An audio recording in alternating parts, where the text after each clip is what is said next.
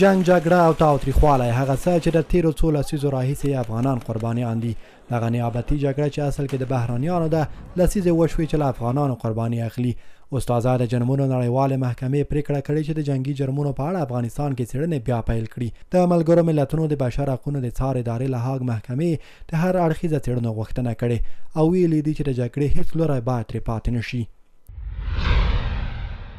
د جرمونو نړیواله محکمه باید د افغانستان وضعیت په اړه خپلو پلټنو ته د دوام ورکولو په وخت د ټولو اړخونو لخوا ترسره شوي ستر نړیوال جرمونه په ګوته کړي.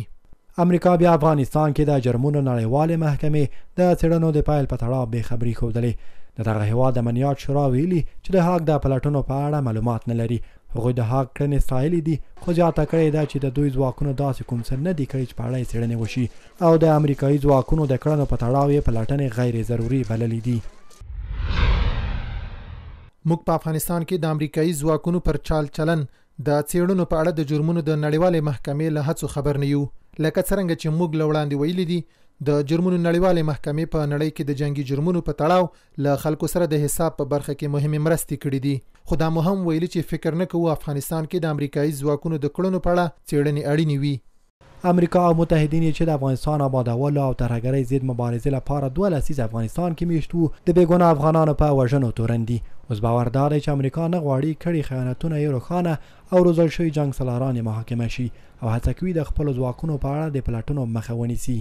امریکا او د ده ملاتړ کوونکي هېوادونه او د دوی په لاس روزل شوي وار لورډز،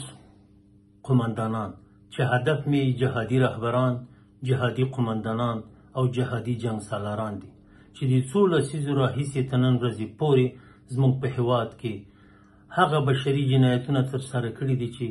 نه نړیوالو ته او نه ولس ته د منلو وړ دي او نه د بخښنې وړ دي نو دې لپاره امریکا لازمه نه بولي چې دغه محکمه کې جنگي جنایتکاران محکمه شي ولی په خپل امریکا په دغو بشري جنایاتو کې دخیله ده او عامل د دغو ټولو بشري جنایاتو په خپل امریکا ده د تیرو څو لسیزو ناخوالو، بمباریو، جګړو، چاودنو او بریدونو کې په لسګونه زره افغانان شهیدان او ټپیان شوي دي افغانان د دې ټولو مسؤل امریکا او متحدین یې بولي، خو هغوی په دې هر څه سترګې پټوي او دا لومړی ځل نه دی چې د پلټنو په اړه یې غبرګون ښيي. په لومړي ځل د امریکا حاکم ولسمشر ډونالډ ټرمپ افغانستان کې د جرمونو د نړیوالې محکمې پر څېړنو بندیزونه ولګول او اوس هم د بایډن اداره هڅه کوي خپل جنایات پټ وساتي.